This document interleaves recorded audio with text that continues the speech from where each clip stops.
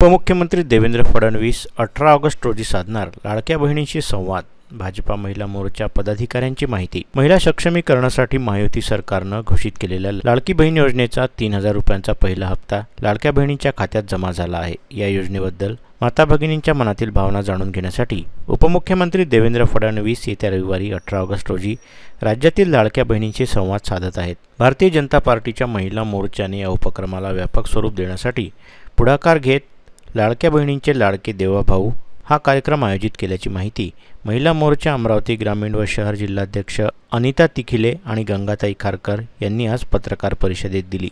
या पत्रकार परिषदेला राज्यसभा सदस्य व भाजपा जिल्हाध्यक्ष डॉक्टर अनिल बोंडे डॉक्टर संगीता शिंदे लताताई देशमुख यांच्यासह महिला मोर्चाच्या अन्य पदाधिकारी यावेळी उपस्थित होत्या.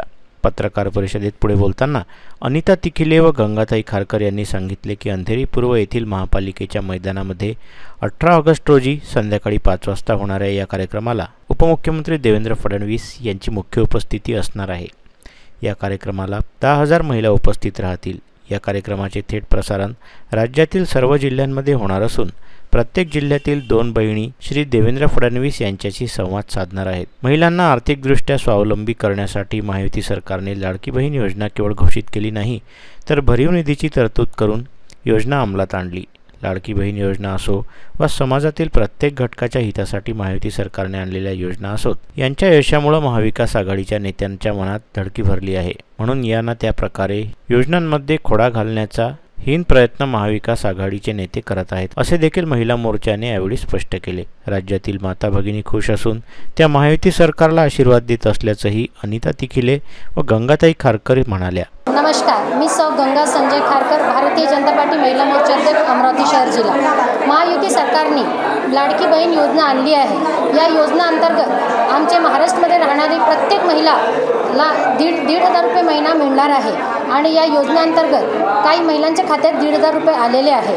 आणि या योजनेच्या संदर्भामध्ये उद्या अठरा तारखेला सांस्कृतिक भवनमध्ये संध्याकाळी चार वाजता एक रक्षाबंधनचा कार्यक्रम ठेवण्यात आला आहे. त्यामध्ये तीन हजार राखे आम्ही मुख्यमंत्री माननीय देवेंद्रजी फडणवीस उपमुख्यमंत्री माननीय देवेंद्रजी फडणवीस यांना पाठवणार आहे. आणि या कार्यक्रमामध्ये आपण सगळ्यांनी उपस्थित राहावं असं मी आपल्याला आवाहन करते. धन्यवाद.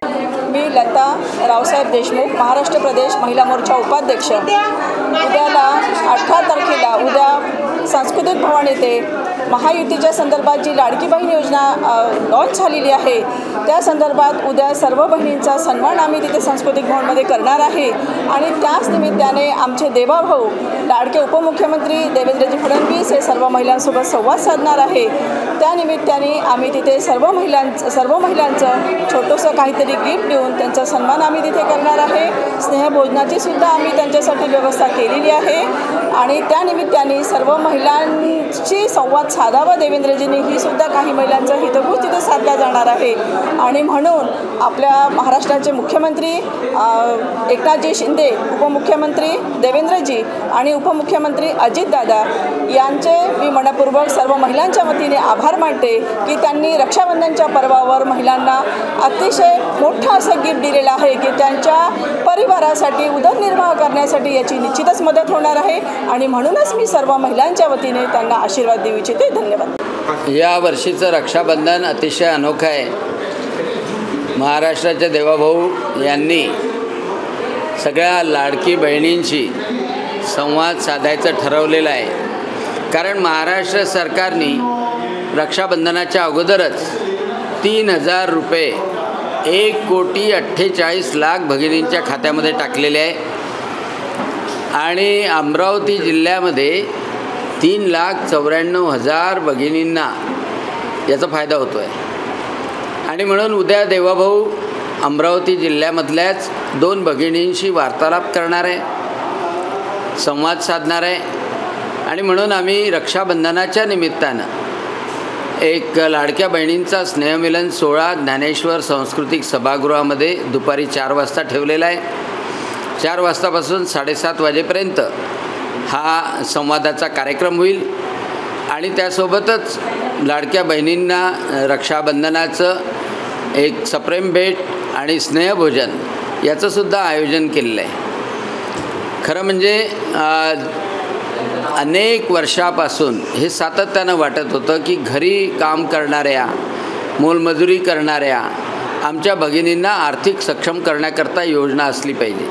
मध्य प्रदेशमध्ये शिवराज मामानी जे आता कृषीमंत्री आहेत त्यांनी ही योजना सुरू केली आणि ती महाराष्ट्र सरकारने स्वीकारली.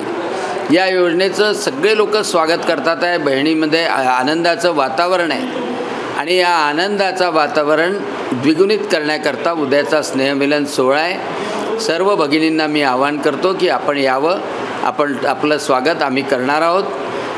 इथे भारतीय जनता पक्षाच्या शहर अध्यक्षा गंगाताई खारकर त्याचप्रमाणे ग्रामीणच्या अध्यक्षा अनिताताई तिखिले संगीता शिंदे सुरेखाताई लुंगारे लताताई देशमुख आणि त्यांच्यासोबत सर्व महिला मोर्चाच्या कार्यकर्त्या नगरसेविका जिल्हा परिषदच्या या सगळ्याजणं परिश्रम घेतात आहे आपल्या लाडक्या बहिणींचं स्वागत करण्याकरता. लाडकी बहीण योजनेअंतर्गत आमचे लाडके भाऊ देवा भाऊ असा कार्यक्रम उद्या सांस्कृतिक भवनामध्ये चार वाजता आम्ही आयोजित केलेला आहे.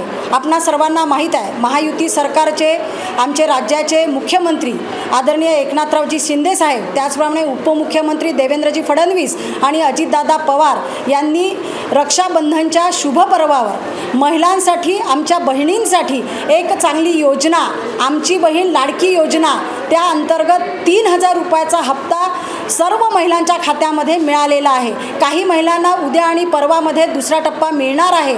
ऐंशी लाख महिलांना आमच्या लाडक्या बहिणीचा फायदा मिळालेला आहे. आणि उद्या जवळपास साडेतीन हजार राख्या आम्ही देवाभाऊंना पाठवणार आहोत.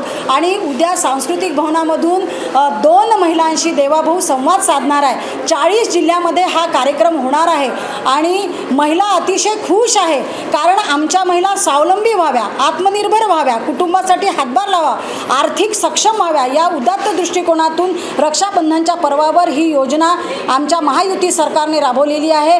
आमच्या महिलांच्या ज्या आम्ही प्रतिक्रिया घेतल्या काल आम्ही काही महिलांचे सत्कार केले. त्यांच्यावर जेव्हा प्रतिक प्रतिक्रिया घेतल्या तेव्हा त्यांनी सांगितलं की कधी आमच्या मुलाला काही आम्हाला घ्यायचं असते कधी आमच्या मुलीला काही घ्यायचं असते कुठे कोणाला लग्नामध्ये गिफ्ट द्यायची असते तर प्रत्येक वेळेस नवऱ्यासमोर हात पसरायची आमची वेळ येते. ती या का- या अनु या योजनेच्या माध्यमातून ती येणार नाही. त्याच्यामुळे आम्ही आमच्या भावांवर खूप खुश आहोत. आणि न, या निमित्तानं महिला या स्वावलंबी होणार आहेत. एवढंच या ठिकाणी बोलते आणि उद्या सगळ्यांनी या कार्यक्रमाला यावं असं मी आव्हान करते. व्हिडिओला लाईक करा शेअर करा. मंडल न्यूजच्या यूट्यूब चॅनलला सबस्क्राईब करा. फेसबुक व इंस्टाग्रामला फॉलो करा.